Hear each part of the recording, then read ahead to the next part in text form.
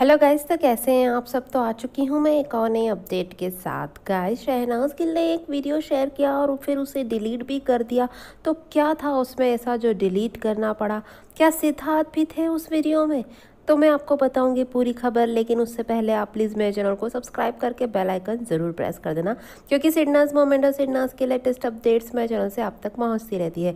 तो गाय शहनाज गिल आज शूट कर रही थी, जिसके कई सारे बीटीएस पिक्स आए जो हमने आपके साथ शेयर भी किए। अब ये एक वीडियो इंस्टाग्राम पर शहनाज ने शेयर किया और फिर उसे बहुत ही जल्दी डिलीट भी कर दिया। तो सभी फैंस का ये मानना है कि डिलीट करने के पीछे जो खास वजह आई है सामने, वो ये है कि इस वीडियो में सिद्धार्थ की आवाज़ आ रही थी। तो क्या शूट पर सिद्धार्थ भी थे मौजूद? लेकिन गाइस खबरें ये आ रही हैं कि वहाँ पर सिद्धार्थ नहीं थे। लेकिन हाँ सिद्धार्थ के बारे में कुछ बातें हुई हैं वहाँ पर, जिसके कारण शहनाज ने ये वीडियो डिलीट किया। अब आप देख रहे हैं कि वीडियो में पीछे कोई नज़र आ रहा है, जिसकी आवाज़ इस वीडियो में साफ़ सुनाई दे रही है। वो है कुशाल और वही बात कर रहे हैं और सिद्धार्थ के बारे में बात हुई है।